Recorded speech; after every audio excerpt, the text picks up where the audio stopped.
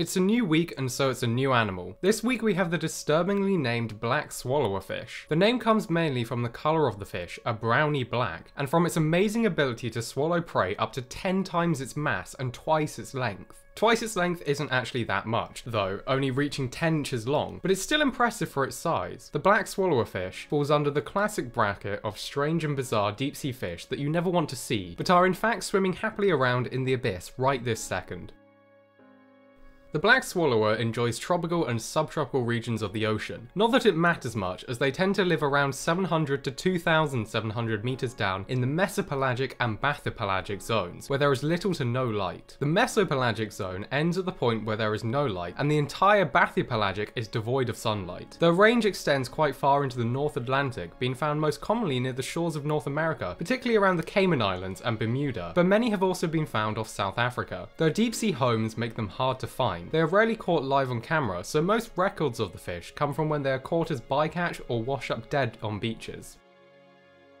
Their diet consists of mostly fish, and this time not ones that are smaller than itself. Eating fish up to 10 times the mass causes a lot of strain on the black swallower's stomach, which can sometimes result in them tearing, killing the fish. The black swallower really doesn't hold back. They eat every part of the fish they swallow, and they use their sharp, thin teeth to latch onto their prey. If splitting stomachs wasn't enough, sometimes when these fish overdo it and swallow something too big, they can die in another slower way. If their prey is too big, it may start to decompose before the stomach acid of the black swallower has had enough time to break it down. When the fish decomposes, it releases gas which fills up the stomach and causes the black swallower to float upwards towards the surface. Sometimes this isn't fatal, but most of the time the fish can be killed from anything from new predators to decompression sickness, and yes, fish can get decompression sickness. Is actually how many of the specimens have been found, bobbing dead on the surface of the water having eaten something too big. Not much is really known about their breeding behaviour due to the difficulty involved in studying these deep dwelling fish. What we do know is that like almost all other fish, I'm sure there are a few, just a few, that have to be special and break the mould. They are oviparous, meaning they lay eggs in the ocean. These eggs tend to float around the pelagic regions of the earth, meaning in the open ocean. These eggs are tiny, only about 1mm in diameter, and therefore face many dangers in the open ocean. We can assume from when and where we find these eggs that they do abide by some sort of seasonal mating time. Many are found off the coast of South Africa during winter. Winter in South Africa takes place from June to August, and then juveniles are then found around Bermuda around April the next year.